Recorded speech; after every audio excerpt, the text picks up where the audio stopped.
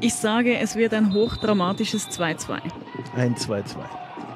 Dann lieber ein 4-4.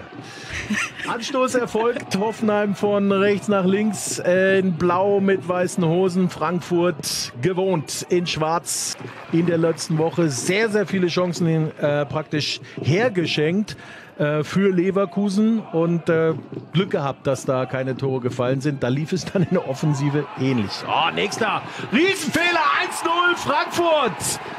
Was natürlich Lara Prasnika Fünfte Minute und äh, ja, leider macht Hoffenheim genau da weiter, wo sie letzte Woche aufgehört haben im Passspiel. Den darfst du niemals so spielen. Und dann quer, also so, da geht es jetzt drum, links oder Rechtsfuß. Naschenweng könnte es mit links machen oder Feldkamp mit rechts. Sieht nach Naschenweng aus. Ich sage Feldkamp. Ja, gut. Lattentreffer und drin ist er! Gut nachgesetzt! Im zweiten Anlauf, ich glaube, Tongus. Hoffenheim schüttelt sich und kommt zum frühen Ausgleich. Wir halten fest, aufgrund äh, der Chancenfülle nach einer halben Stunde müsste Frankfurt eigentlich führen. Aber Hoffenheim führt! 31. Minute, 2 zu 1. Eigentlich so ein bisschen die letzten 10 Minuten auf den Kopf gestellt. Hoffenheim ist zweimal vor dem Tor, trifft zweimal und zweimal chancenlos.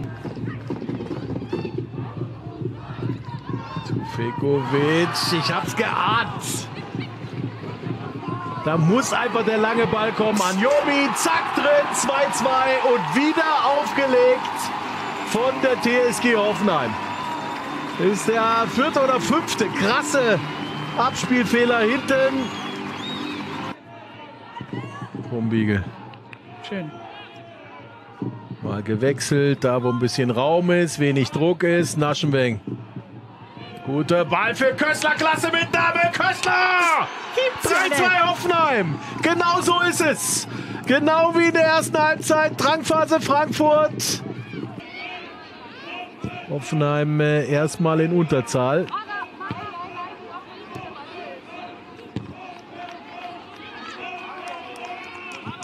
Anjomi. Reuteler, von der wir noch gar nicht viel gesehen haben. Aber jetzt knallt sie das Ding rein. 3 zu 3. Und genau in dieser Unterzahlphase. Oder nicht viel. Und dann straft sie mich Lügen. Da hast du gegen die angeschlagenen Aschenwing, die natürlich diese